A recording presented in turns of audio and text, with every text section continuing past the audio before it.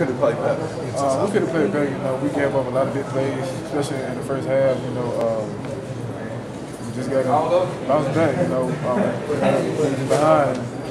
Focus on EKU. How tough was that, them scoring on that third touchdown and kind of putting them in a hole right out of the chute? I mean, it was it was very tough. You know, uh, we playing good, we playing good defense at first, and now we just gave a big play like we always do. You know, Coach Reed, you know, he told us even before this game, he said we allow we don't allow big game. I mean, big time plays. You know, uh, stuff can happen.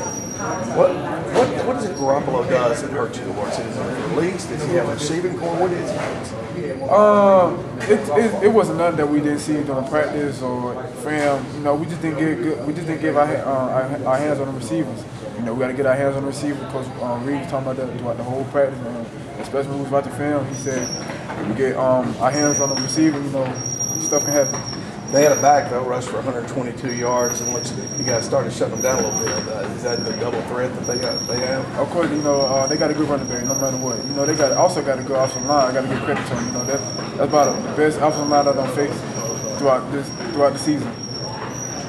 Thanks.